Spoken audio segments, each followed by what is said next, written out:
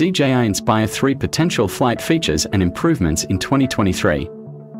The DJI Inspire 3 is the highly anticipated new release from the world-renowned drone manufacturer and one area where we can expect significant improvements is in its flight features.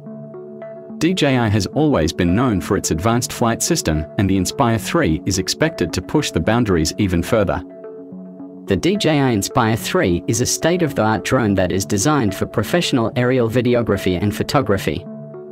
It comes with a range of advanced flight features that make it an ideal choice for professional filmmakers, photographers, and other aerial enthusiasts. We'll be focusing on some of the key flight features. It comes with a 3-axis gimbal stabilization system that ensures smooth and stable footage. This feature allows the camera to remain stable even in windy conditions or when the drone is moving at high speeds. With this feature, you can capture high-quality footage without worrying about shaky or blurred images. The DJI Inspire 3 also features a dual operator mode, which allows two people to control the drone simultaneously.